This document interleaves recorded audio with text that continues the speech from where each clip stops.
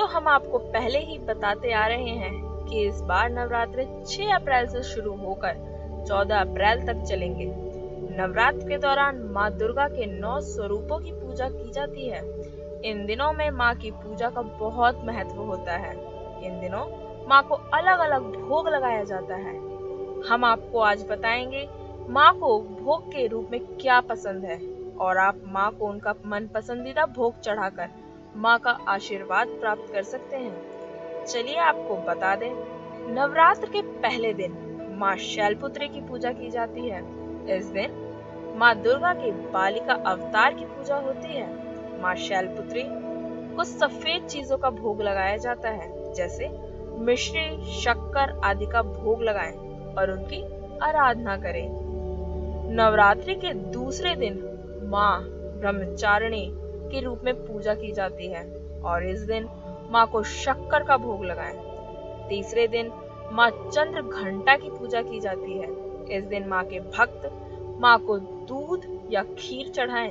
कहा जाता है, ऐसा करने से भक्तों की हर मनोकामना पूरी हो जाती है।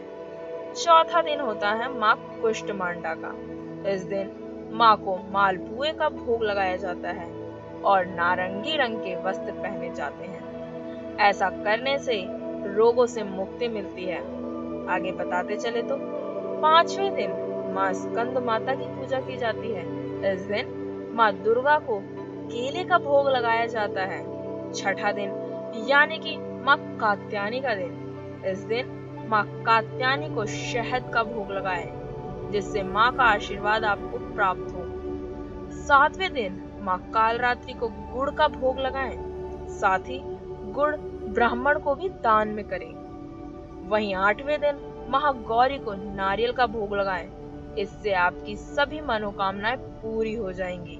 इसके अलावा नवरात्र के आखिरी दिन, यानी कि नवे दिन, माँ सिद्धिदात्री को पूजन किया जाता है और माँ को तिल का भोग लगाया जाता है।